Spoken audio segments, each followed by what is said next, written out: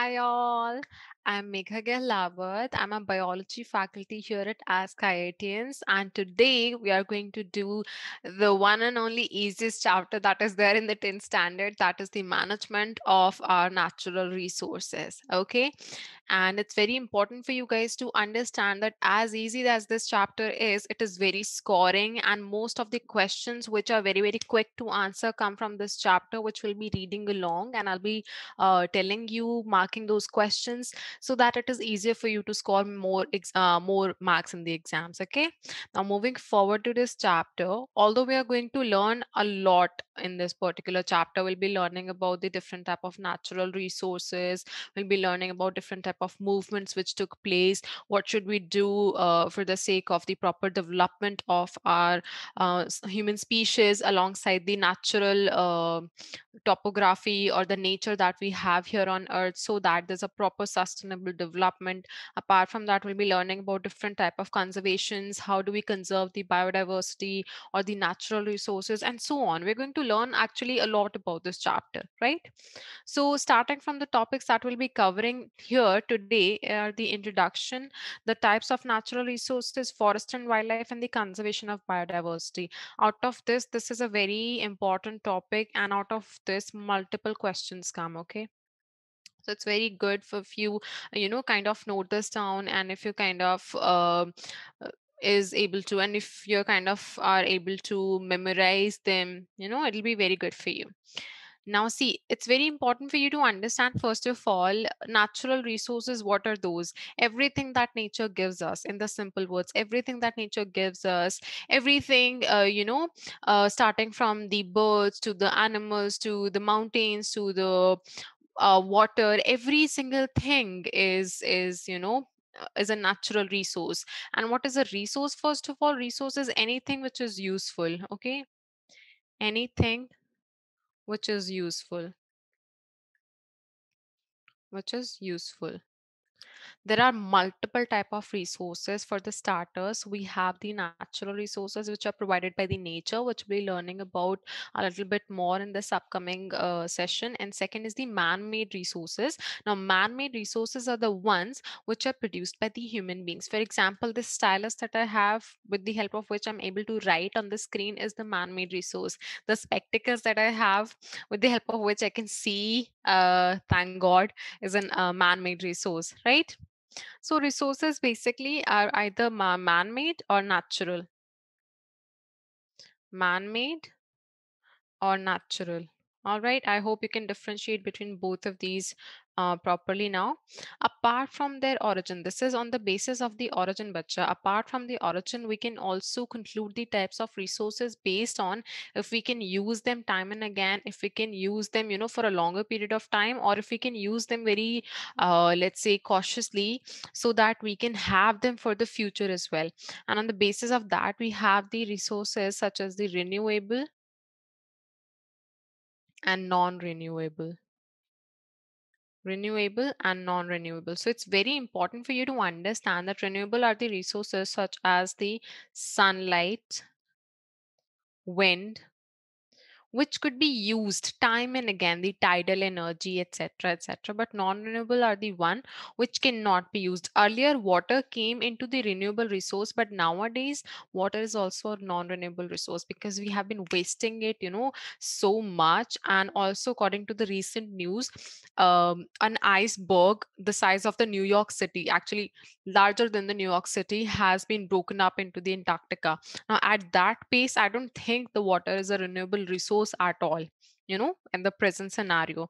Apart from that we have the fossil fuels which is like the biggest example everybody has uh, studied till now. All the petrols diesels etc etc etc those are the non-renewable resources right apart from that if we talk about the nature how nature exactly is interacting with us you know we all interact with our surroundings. That is what we call as the environment where all the living things and non-living things interact with each other in order to you know comprehend the proper living and uh, stay in a very peaceful and harmonious manner. Also to develop and proliferate or to flourish properly right? So with the help of that natural heritage that is the land water that all has been used by the human beings very judicially judiciously very properly for the development of their own trade. For example the fisheries tourism mining forestry etc etc on top of that we have the biodiversity. Now biodiversity here is one of the biggest resources that we have you know it's very important. Biodiversity is very very important for maintaining the balance in the nature. That is why it is the biggest resource right? Now for what exactly is the biodiversity we'll be understanding with the help of a video okay? Now starting with this video let's get on with it and i'll be explaining everything on the way as well. Our planet's diverse thriving ecosystems may seem like permanent fixtures but they're actually vulnerable to collapse. Jungles can become deserts, and reefs can become lifeless rocks, even without cataclysmic events like volcanoes and asteroids. What makes one ecosystem strong and another weak in the face of change? The answer, to a large extent, is biodiversity. Biodiversity is built out of three intertwined features ecosystem diversity, species diversity, and genetic diversity.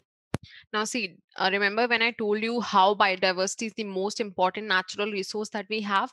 It's because it is very much important for the sake of balance, right? So, all the balance that is being maintained by the ecosystem, the diversity of ecosystem, as in there could be a marine ecosystem, there could be a land ecosystem, there could be a desert ecosystem, a forest ecosystem, all of that, on top of which we have the species diversity, as in, you know, the variety of species monkeys, snakes, um, birds birds, butterflies, etc., etc. And then we have the genetic diversity. Since all of you must have covered the chapter heredity and evolution, you're well aware about what genetics is, right? Basically, the DNA which we have in the nucleus is what the genetic actually is, right? Now, moving on with the video. The more intertwining there is between these features, the denser and more resilient the weave becomes. Take the Amazon rainforest, one of the most biodiverse regions on Earth, due to its complex ecosystems, huge mix of species, and the genetic variety within those species. Here are tangled liana vines, which crawl up from the forest floor to the canopy, intertwining with treetops and growing thick wooded stems that support these towering trees. Helped along by the vines, trees provide the seeds, fruits, and leaves to herbivores such as the tapir and the agouti, which disperse their seeds throughout the forest so they can grow. Leftovers are consumed by the millions of insects that decompose and recycle nutrients to create rich soil. The rainforest is a huge system filled with many smaller systems like this, each packed with interconnected species. Every link provides stability to the next, strengthening biodiversity's weave. That weave is further reinforced by the genetic diversity within individual species, now before we go any further it's uh, see you guys do understand that we just talked about how exactly different type of species they're helping in maintaining the balance by the proper food cycle. For example we have the autotrophs which are the trees which produce their own food. Auto self troph nutrition self nutrition that is what the plants are doing uh, okay? And then we have the plants uh, giving the food to the herbivores that is the heterotroph hetero different troph nutrition. So depending upon the different organism for the nutrition we have the heterotroph which eat the you know um the fruits and the leaves and the grass etc etc so when they die or when they're killed by the carnivores and then carnivores die uh, we have the decomposers which grow on dead and decaying animals. For example the fungus the mushrooms etc etc etc right? So there are different things uh, which basically go ahead and maintain the balance in the ecosystem. Now moving forward. Which allows them to cope with changes. Species that lack genetic diversity due to isolation or low population numbers are much more vulnerable to fluctuations caused by climate change, disease, or habitat fragmentation. Whenever a species disappears because of its weakened gene pool, a knot is untied and parts of the net disintegrate. So, what if we were to remove one species from the rainforest? Would the system fall apart? Probably not. The volume of species, their genetic diversity, and the complexity of the ecosystems form such rich biodiversity in this forest that one species gap in the weave won't cause it to unravel. The forest can stay resilient and recover from change. But that's not true in every case. In some environments, before uh, you know moving forward to the another environment and cases let's just you know give the analysis of what we just saw right now. We saw how exactly if we just break one single uh, knot of the of the complete cycle if the cycle is complex and if the cycle is filled with the variety of the organisms the entire cycle won't fall apart okay? It won't all collapse.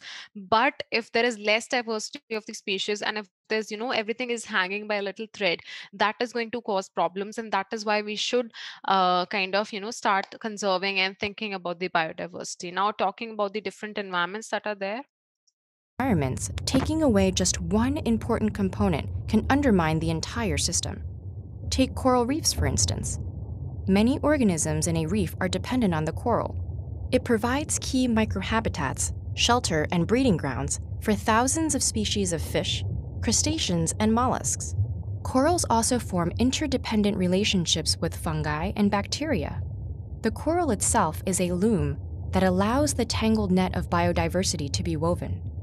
That makes coral a keystone organism, one that many others depend on for their survival. So, what happens when destructive fishing practices, pollution, and ocean acidification weaken coral or even kill it altogether? Exactly what you might think. The loss of this keystone species leaves its dependents at a loss too, threatening the entire fabric of the reef.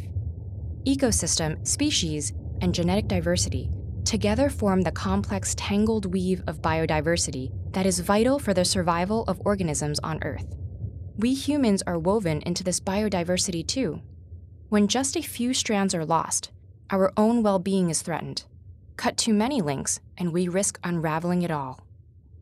What the future brings is unpredictable, but biodiversity can give us an insurance policy, Earth's own safety net, to safeguard our survival.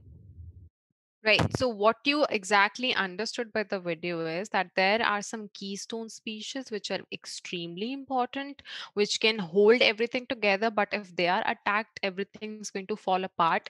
Other than that, there are species which are helping in maintaining the balance. But let's say if they were to collapse or if they were to extend, the entire system will still hold up. Okay.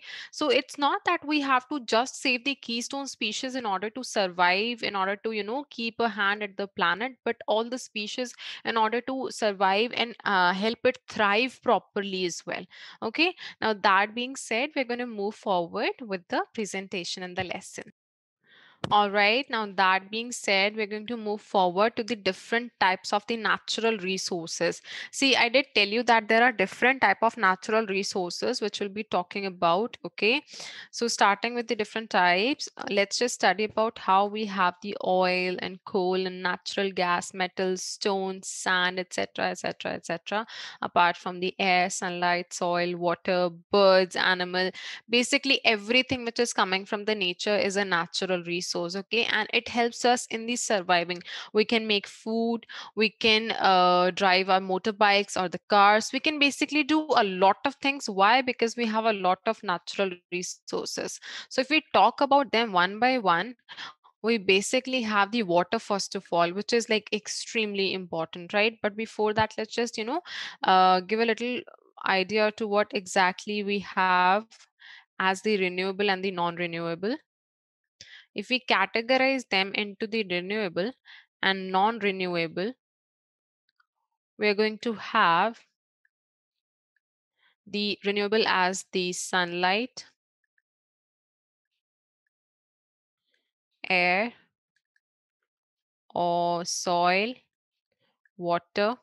Water not so much, so we're going to put it aside. Non-renewable are the fossil fuels, okay, metals, minerals, etc. Now, that being said, we basically have a well categorized, uh, you know, well categorized group. Okay. Now, moving forward to the water, first of all, which is like the extremely important natural resource. If we talk about the water water basically is uh, let's say all the cellular forms all the living forms of life all of them require water because even our own body is 70% water right? So it is the most important of all the uh, resources that we have onto the terrestrial surface or onto the surface of earth for that matter right?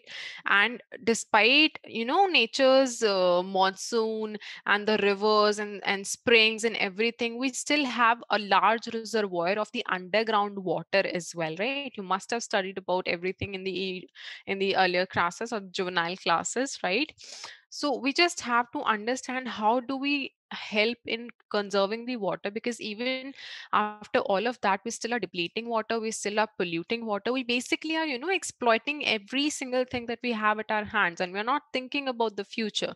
Now that being said let's just go ahead by uh, you know starting with the importance of water how uh, three fourth of the earth's surface is water how 97.5% of water on the other hand is you know all saline basically you know everything is you know ocean water. We cannot drink it. It's not fit for the consumption.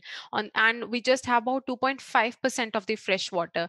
Earlier let's say when i was in the school the amount of fresh water that was present in the rivers and glaciers was 3.1 now uh, and now it has reduced to 2.5 do you see how drastic the changes are in just a few years now that is also a very big concern that we should you know ponder upon in order for us to survive in the future. Apart from that all the you know uh, let's say 40% of the uh, earth population or world's population lives in the arid or the semi arid regions and they spend substantial or tenacious amount of time and energy and efforts and everything in obtaining what? Water. And we still are depleting it right? So it's very important for us to irrigate uh, you know our crops in order to provide the uh, provide ourselves with the food uh, to provide ourselves with the proper living. We need water for the survival as well. And for that we need to do the water harvesting because that is the only thing that can help us right now. And if we talk about the water harvesting we have multiple techniques uh, which can help in you know uh, which can help in obtain the uh, rainwater right. We can capture the water from the rooftop we can capture the water from the uh, local local catchment areas or you know the local public areas which have like big roofs. We can set the water harvesting system there. We can uh, help uh, in saving the water from the local streams in order to avoid the excess flooding or the watershed management for that matter. So you should understand as much as water we are harvesting, it is going to help us. Okay. And water harvesting has been a big, big part of our own culture for a very longer period of time. And that is why we are going to study water harvesting in about two methods. We are going to study the traditional water harvesting and the modern, modern water harvesting, right? See, we have kunds, khadans, bandhis, tankas, different type of traditional water harvesting system, which were very, very prevalent in the older times. Okay. Starting uh, with the kunds. And I'm going to write this down here for you so that you can note it down. And then we am going to explain. Okay. Kunds and khadans and bandis and we have the tankas. Now see, kunds basically are, let's say, uh, the kind of systems which are found in the desert regions most of all okay and it is sort of an underground tank. Kund is basically an underground tank and whenever uh, even if a little rainfall is there in the kund it is opened and you know it everything you know lets uh, onto the falling of rainwater inside the kund and then it is covered properly and then it is uh, like covered with the lid and the lid is very heavy. It is usually made up of cement nowadays. Earlier it was made up of heavy blocked uh, heavy block of stones. Okay.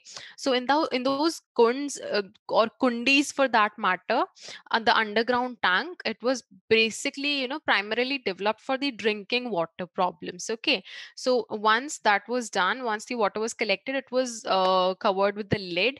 And on top of that we had the jute bags covering it. Okay. And usually is mostly in the um, Rajasthan regions. Then we have the khadans. Khadans uh, are the kind of harvest surfaces which uh, take up the water, run runoff water for the agriculture. Right, let me just explain it a little better to you. See, this is the Khadan system that I was talking about. When I talk about the Khadan system, it usually is to catch the runoff water from the agriculture. So what do we have? We have the catchment area. Catchment catchment area is usually high. Okay, it's high up so that water can slide off or water can just, you know, run off. And then we have a lower ground, a lower ground like this, which we call as the Khadan or the cropped area, which is, you know, either deliberately dug up uh, in order to maintain the lower area so that all the water which is just you know running off from the catchment area could be collected into that particular low uh, khadan or the cropped area. Now it's very important to contain that water as well. Now to contain that water we build the khadan band Khadan Band is kind of a dam thingy or a wall thingy which is built in order to uh, avoid the collected water to spill off or to run off to someplace else. It just is to contain. Okay. And with the help of this, this cropped or Khadan area, the seepage in the underground increases. All the water sieves through the soil and it is collected into, inside the uh, underwater table, which we can dug up from the dug well. Okay. That being said, we have the bandis. Bandis, you must have heard about at a lot of places as well, you know. Bandis are basically uh, man-made or natural reservoirs, kind of a pond, little pond, which uh, are just filled up with the water until uh, there is monsoon, and after monsoon they dry up. So it's just kind of a pond uh, kind of thing, and those were really, really used for the sake of rice cultivation in the areas. Okay, and then we have the tankas. Now tankas are very, very reliable. They're also for the drinking water and uh, tankas are also the kind of uh, tanks which are closed they could be underground they could be uh, not underground that completely depends upon the people how they build it. They could be above the ground they could be underground okay?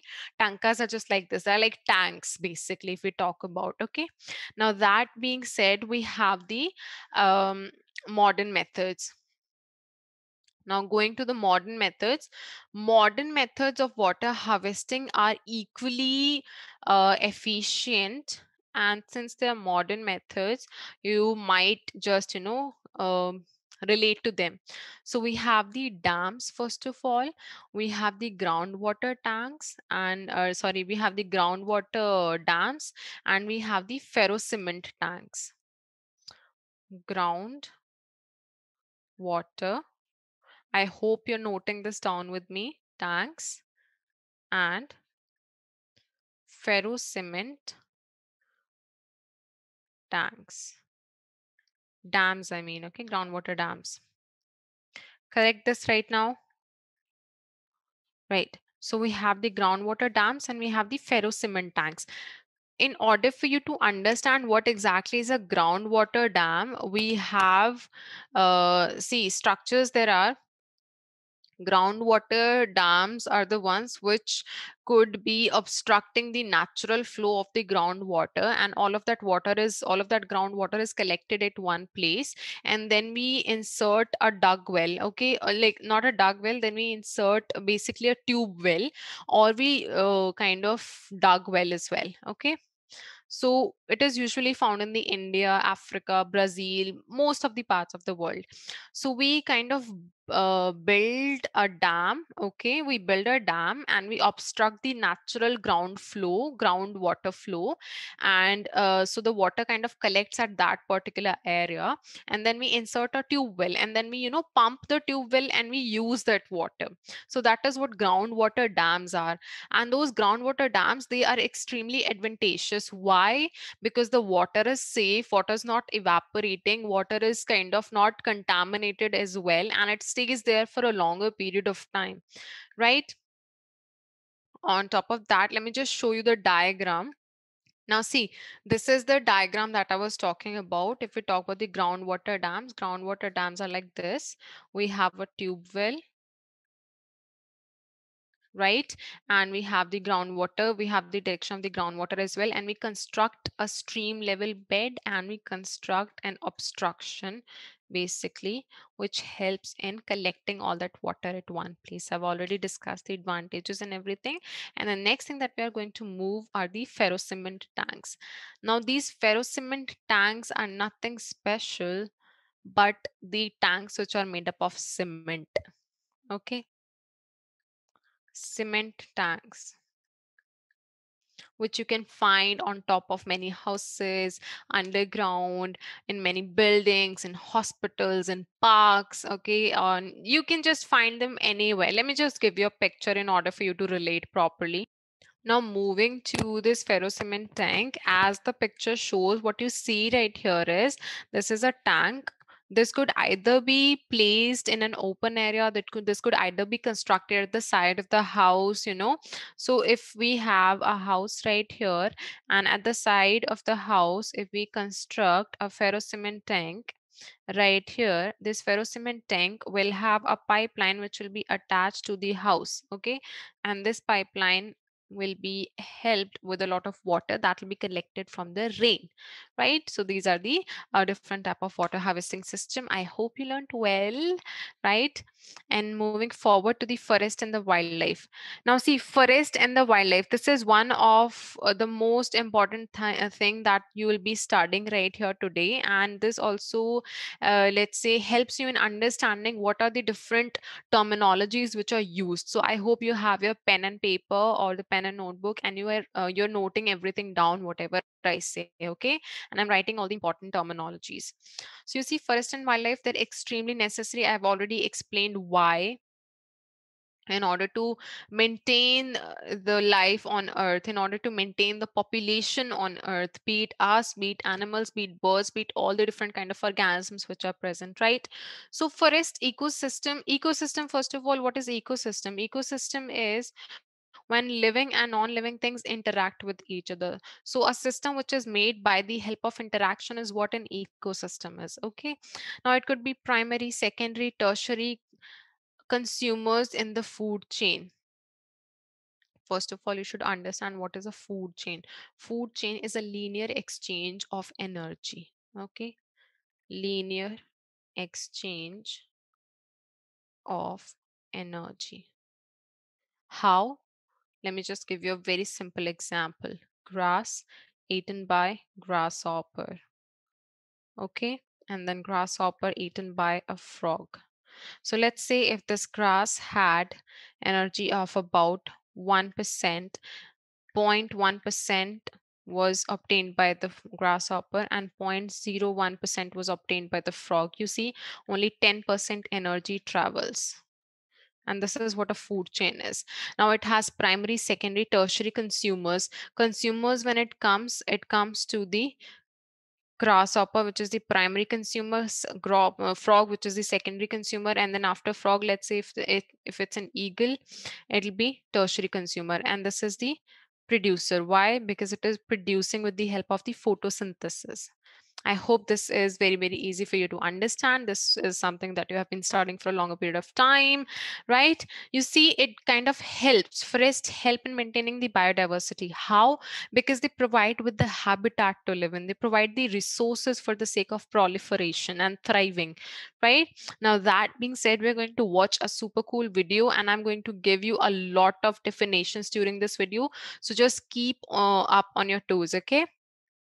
All right, then everyone, let's just start with the video. All the things that you're seeing right here, uh, the biodiversity, flora and fauna, classification uh, into normal, endangered, vulnerable species, all these species, all these class classifications, these are very, very important. And along these classifications, you're going to have to learn the examples as well, because those examples are equally important and they're going to help you in scoring more marks. Okay.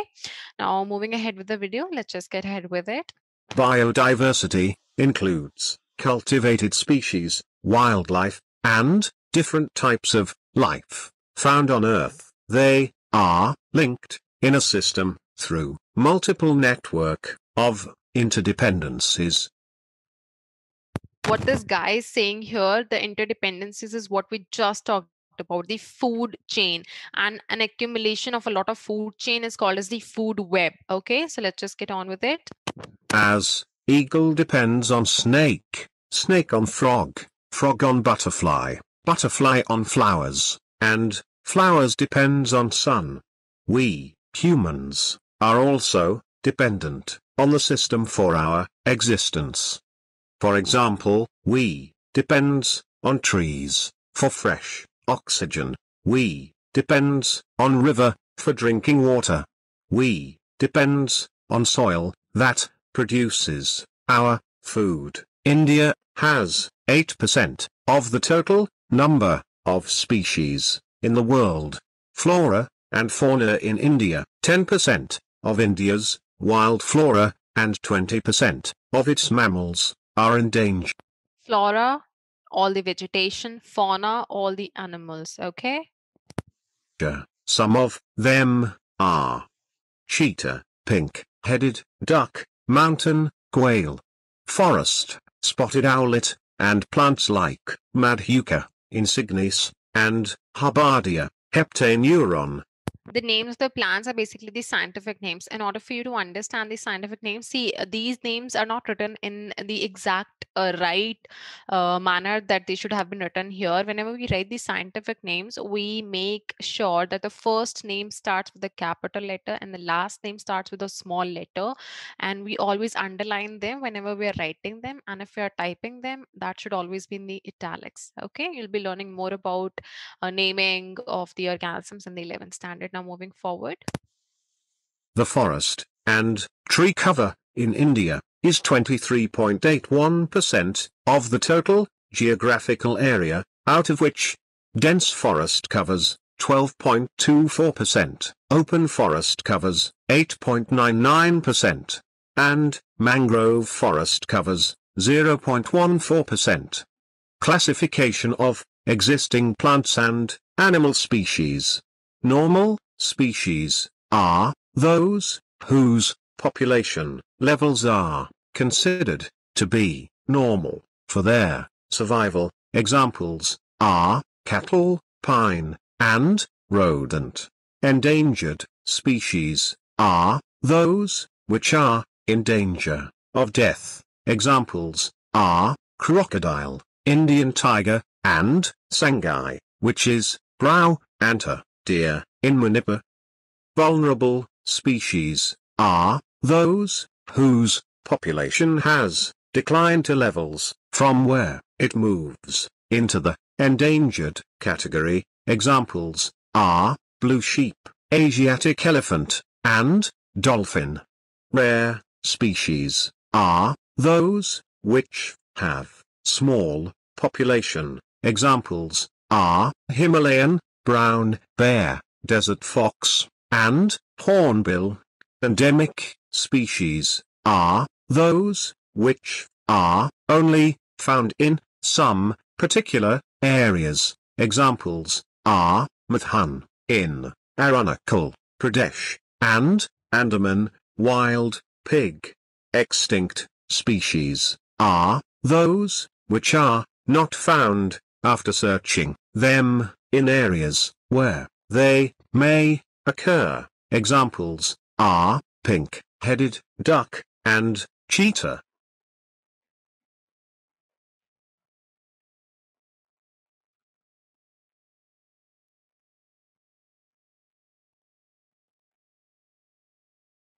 Different type of uh, All right, so we studied about a lot of terminologies related to what we have as the endangered species. Endangered are the ones which have the less population. Normal species, the number of uh, organisms in those species are, you know, okay for their survival for a longer period of time. And then we have the vulnerable species which have extremely low um, population, extremely less population. Then we have the extinct species. Extinct are the one which have been completely wiped out from the face of the earth, for example, the dodo and the dinosaurs. And we have the endemic species. Endemic species or the epidemic species are the ones which are found only in one area. For example, if we talk about uh, the different type of goats or the different type of, uh, you know, yak, let's say yak, for example, is only found in the snowy areas, only in the few regions. Or if we talk about the Sundarban uh, forest, where we have the trees which are very specific to that particular reason region itself right? Now that being said we are going to move forward to the conservation of the biodiversity. Now this right here is a very very big topic which you need to understand properly okay? Conservation is very important. Why? The balance survival proliferation thriving earth human species continuation extinction and everything. I hope you can relate to those keywords. Now see it's very very important for the sake of the uh, sustainable benefit or sustainable development to have the conservation of biodiversity. What is sustainable development? That you need to know first of all. It is the development where we utilize the resources very judicially in the present and we save them for the future as well. Okay, so the uh, development which is being uh, carried out in a perfect balance in order to utilize the resources at present and in order to save the resources for the future generations as well that is what sustainable or the balanced development and benefits are okay as mentioned here for present and the future generation. Conservation is basically of two types okay? I'm going to broadly describe all of it here and then i'm going to show you two videos on the basis of which you can easily uh, you know note down and decide everything properly. So we have the in situ and we have the ex situ in situ conservation is something which we uh, utilize by you know saving all the organisms in their own natural habitat in their own natural environment. And ex situ conservation is when we save the animals when we conserve the animals but out of their normal environment okay? Out of their uh, actual environment. For example if we talk about the in situ conservation we talk about the national parks we talk about you must have studied about this in the ninth standard as well. It's just a quick revision of all of that. We have the national parks we have the wildlife sanctuaries. And we have the biosphere reserve.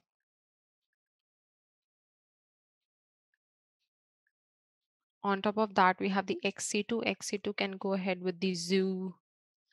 And we have the cryopreservation cryopreservation is when we use the liquid nitrogen which is at the temperature of minus 196 degrees celsius and we you know kind of just freeze the things okay? And collection of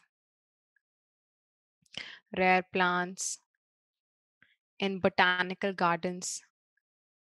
The largest botanical garden is found in the europe the royal botanical garden which belongs to the queen obviously anyway now that being said let's just get ahead with the video All right, now coming to this video, first things first, we should be learning about why should we conserve the biodiversity and then how should we conserve the biodiversity, why and how two questions will be answered and extremely important.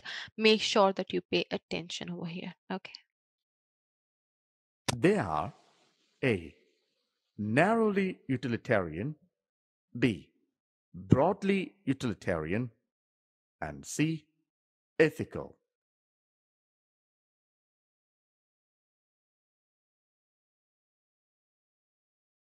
I'm so sorry. Right. So let's uh, let's see. I'll be explaining all of that for you so that we don't have to waste our time watching the entire video. Narrowly utilitarian are the things which are not of as much use to us, but they are kind of you know have a narrow spectrum of usage to the human beings. And then we have the broadly utilitarian, which are like extremely extremely useful for us, and the human beings are kindly exploiting everything. And then ethical is something which uh, is related to how exactly the different habitat belong to the different species and we should let them be okay we should just let them be in peace now moving forward with the video Narrowly utilitarian reasons. The narrowly utilitarian arguments for conserving biodiversity are obvious. Humans derive countless direct economic benefits from nature. They are food, fiber, firewood, construction material, industrial products, and products of medicinal importance. More than 25% of the drugs currently sold in the market worldwide are derived from plants, and 25,000 species of plants contribute to the traditional medicines used by native people around the world. In the present condition, how many more medicinal plants yet to explore in tropical plants? With increasing resources put into bioprospecting, nations with rich biodiversity can expect to reap enormous benefits. Broad utilitarian. This argument says that biodiversity plays a major role in many ecosystem services that nature provides. Example A. Oxygen supply.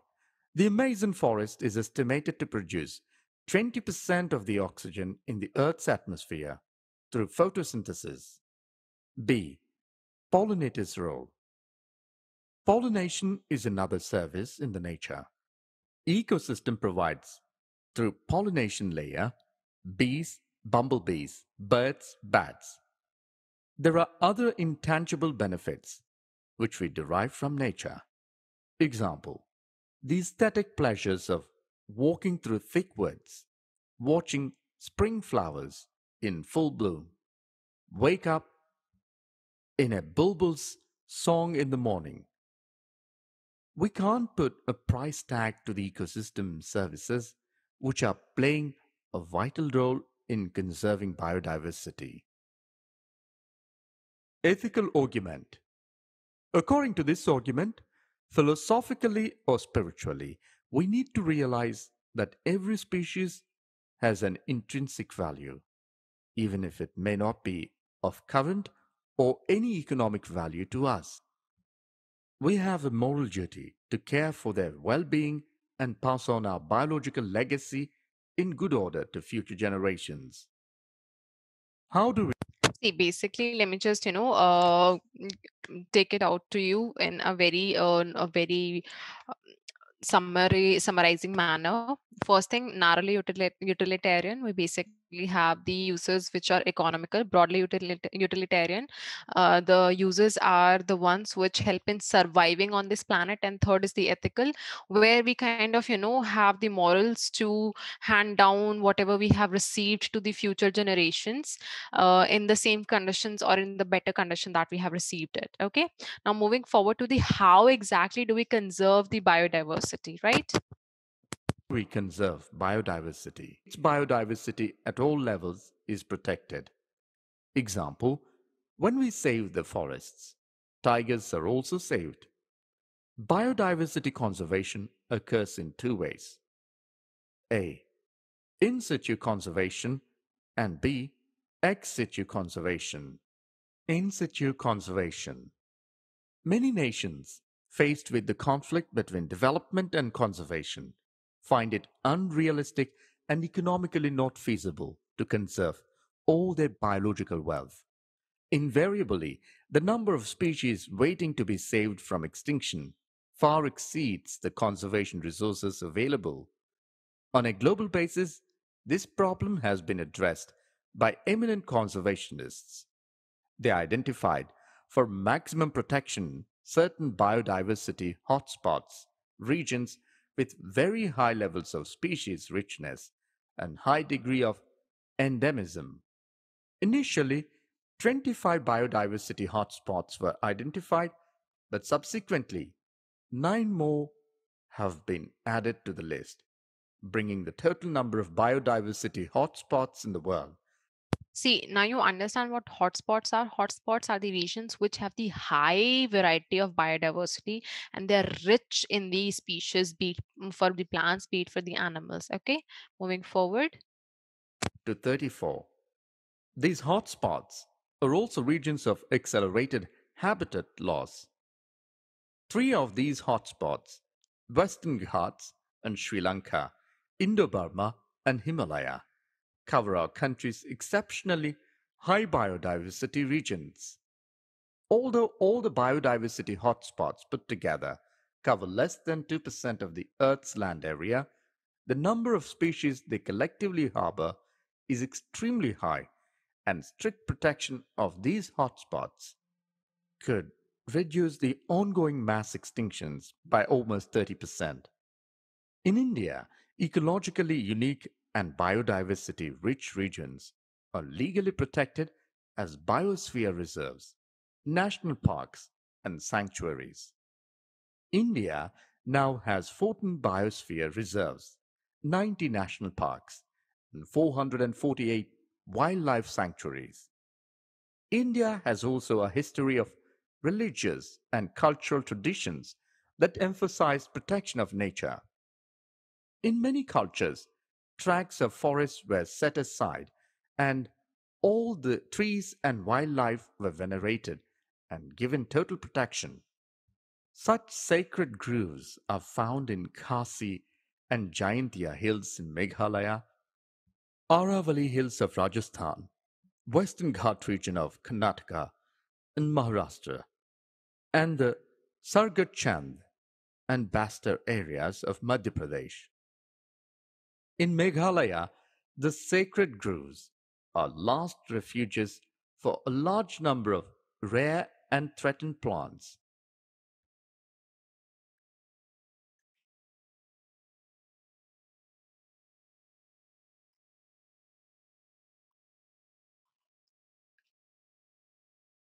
Hi, I'm Nick, and we're here at Strathmore University in Nairobi, Kenya. We're here installing a Huawei Sun 2000 10 KTL inverter. This is the oldest PV training school in Kenya, so we're happy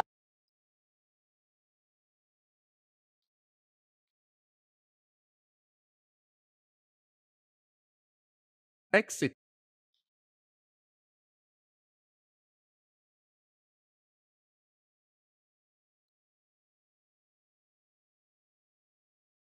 All right, then moving forward with this one. conservation. In this approach, threatened animals and plants are taken out from their natural habitat and placed in special settings where they can be protected and given special care. Botanical gardens, zoological parks, wildlife safari parks serve the purpose. There are many animals that have become extinct in the wild, but continue to be maintained in zoological parks. Now, see, one such example is the panda. China has done an incredible job in taking the panda out of the endangered and vulnerable species. Now they have a lot of uh, population of panda, and that is a very good thing that has been done on the human part. Now, moving forward with the video, let's just go ahead with it. In recent years, ex situ conservation has advanced beyond keeping threatened species in enclosures. Now, gametes of threatened species can be preserved in viable and fertile condition for long periods using cryopreservation techniques. Eggs can be fertilized in vitro and plants can be propagated using tissue culture methods. Seeds of different genetic strains of commercially important plants can be kept for long periods in seed banks. Biodiversity knows no political boundaries, and its conservation is therefore a collective responsibility of all nations. The historic Convention on Biological Diversity, the Earth Summit, held in Rio de Janeiro in 1992, called upon all nations to take appropriate measures for conservation of biodiversity and sustainable utilization of its benefits.